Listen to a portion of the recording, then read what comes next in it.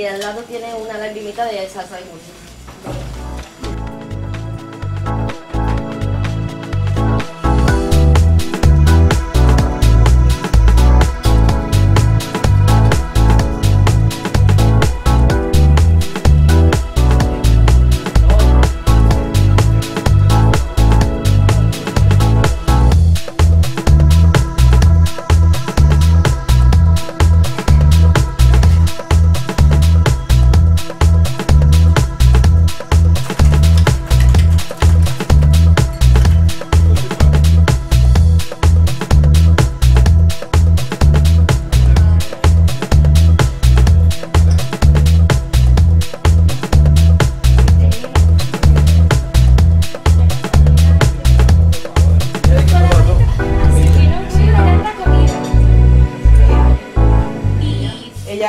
Segundo puesto en el concurso de, de Marbella Costilla. Bueno, yo hice un pañuelo de chocolate negro y dentro tiene una chibus de naranja.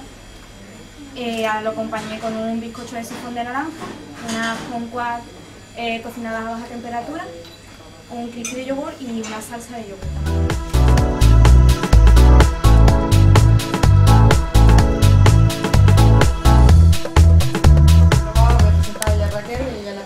Concurso de Andalucía igual en Marbella Cocina.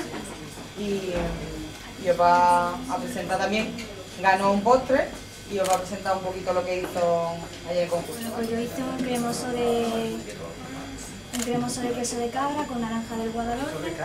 Lo acompañé de una pintura de chocolate infusionado al cardamomo, un crumble de café, un merengue seco de naranja del Guadalhorce, la crema, la falsa frambuesa hecha de férico y el rizo de chocolate.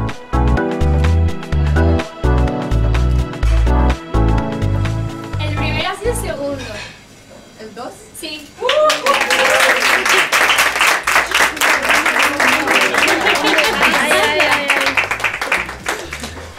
Sí, muchas gracias.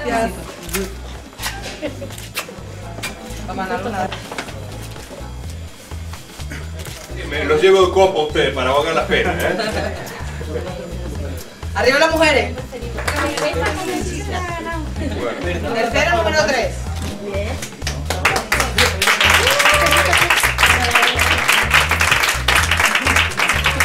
Quiero para cada uno. Para cada uno. A ver quién no quiere salitarse. Eso está muy bueno, ¿eh? Anda.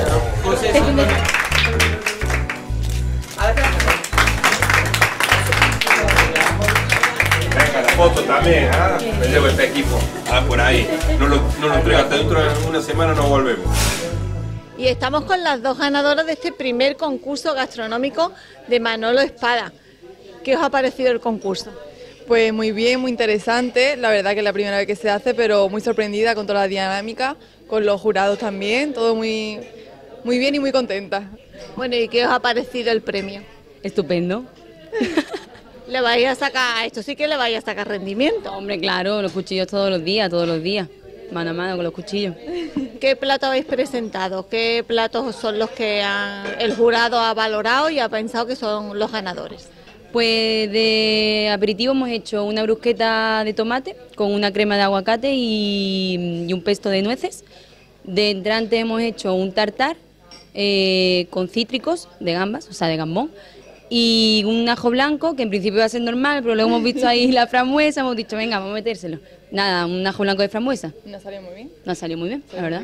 Y determine pues mm, un solomillito trinchado con unos tallarines con, de verdura y una crema de boletus, un- unos puntitos de, mm, de mayonesa de ajo negro.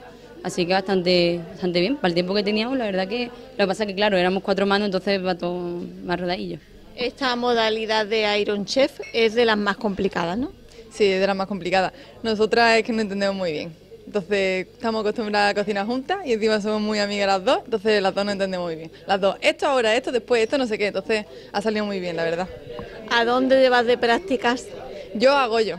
Yo este verano me voy a Goyo y si Dios quiere, pues me quedaré allí lo que pueda. ¿Y tú? No tengo ni idea. es que soy muy exigente, entonces pues estoy ahí, ahí, que no sé muy bien lo que voy a hacer, pero bueno, tengo varias ideas que todavía no las voy a decir, porque tú sabes. Pero pienso hacer dos prácticas, Javi. Ah, dos, vas a hacer sí, dos. sí. Quiero hacer dos, entonces todavía no sé, claro, primero un sitio, luego otro, pero tengo varias ideas en mente. Bueno, y ahora qué vais a hacer que estáis las dos, vais a estar las dos separadas.